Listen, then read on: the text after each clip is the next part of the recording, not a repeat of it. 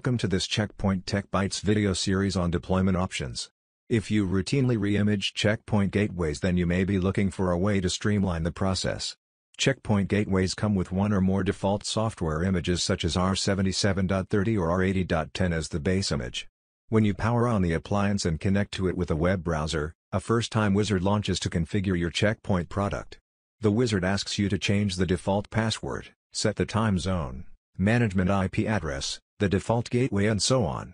Unique to Checkpoint is the product configuration where you can choose to run management and gateway components together in a standalone configuration. Or, as is more typically the case in an enterprise, choose to run only the gateway components or only the management components. In all the interactive first-time wizard may take from 5 to 30 minutes from start to finish. Like any other network device, after the base configuration you may also want to install the latest updates and patches using CPUSE in the Gaia Web UI adding another 5 to 15 minutes to the process. Today you can install the base image, script the basic network configuration, configure the product and install the latest updates using the isomorphic tool or a new tool called Blink. Blink is a faster way to deploy checkpoint gateways with the latest updates and patches. Let's compare the two tools. The prep time is the same. Both require you to download, verify and transfer the files to the target system. Isomorphic does this via creating a bootable USB drive. With Blink you copy the files to the target system. In terms of install time, this is where Blink shines. With Blink you can cut the time to re-image an appliance from 30 to about 5 minutes. Today Isomorphic provides more product configuration options, gateway only, management only or standalone. You can also just install the image without doing the product configuration leaving this to be done by the end user. Today Blink only supports gateway configurations. Isomorphic can be used on appliances and open servers. Today Blink can only be run on checkpoint appliances. Both provide the option to script the basic network configuration and install hotfixes. Isomorphic reformats the disk while Blink does not. It replaces the current snapshot with a new snapshot. With isomorphic you provide the build. This means you collect the base image, the deployment agent and any hotfixes to create a bootable USB drive. With Blink, Checkpoint provides the files for you. Let's see the simple use case of these two tools. Locate Isomorphic on the support site and download the Isomorphic executable. Run it with administrator privileges. Locate the R80.10 ISO already downloaded. Select the USB drive. Select Attended or Unattended Install. Attended works well when you have different appliance models to re-image. Unattended is a bit simpler. Select the appliance model. Type Yes to confirm and it begins to format the USB drive.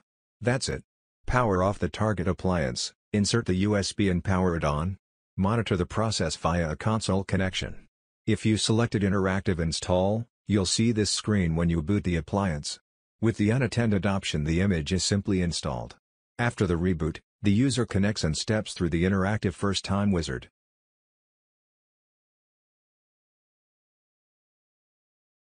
Here is a simple Blink use case.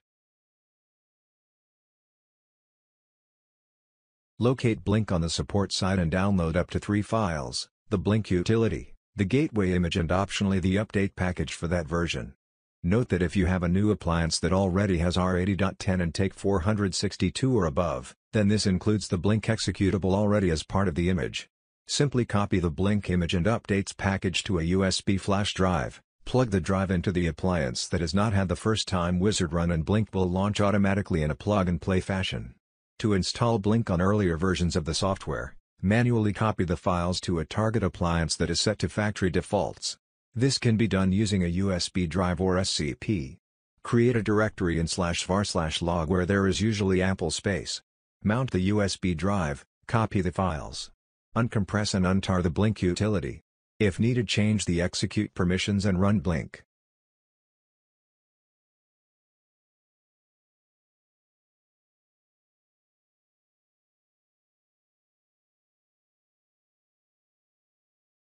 That's it. When finished Blink reboots the appliance. Connect to the appliance with a web browser and a Blink First Time Wizard launches. Fill in the form and click Go. Log in again. Notice that when you navigate to CPUSE you can see that the update is already installed.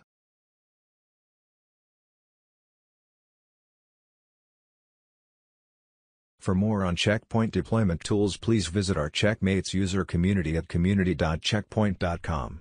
Thank you.